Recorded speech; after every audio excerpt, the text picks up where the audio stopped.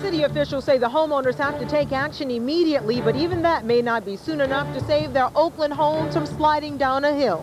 The 6 o'clock news starts now. Live, complete Bay Area news coverage from the award-winning Channel 2 newsroom.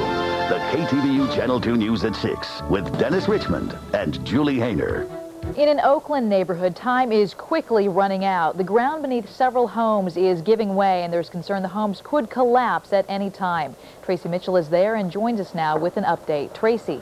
Well, Julie, there's been talk of a 48-hour deadline, but city officials say the homeowners have to shore up their property immediately.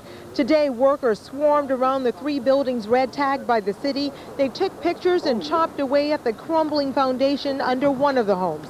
Some were city engineers checking the movement of the landslide. Others were insurance investigators. And one man said he was part of a demolition crew for the city.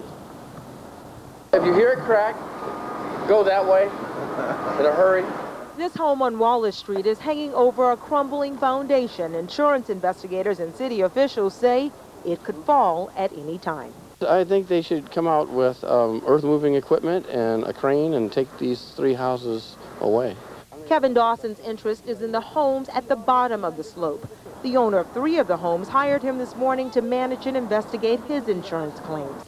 Terry and John Henry Noble are renting one of the homes. They say since the land started moving two weeks ago, they've lost 25 feet of their backyard. There's very little time. If we get more rain, we could have a, a big slide. I mean, those houses could slide down the hill. A city worker say the homeowners are taking care of most of the city's demands and that the dry weather has slowed the movement of this landslide. The problem started about two weeks ago when a water main broke and saturated the soil. Workers say if it gets get much worse, they may have to evacuate the homes below or demolish the homes on the hill.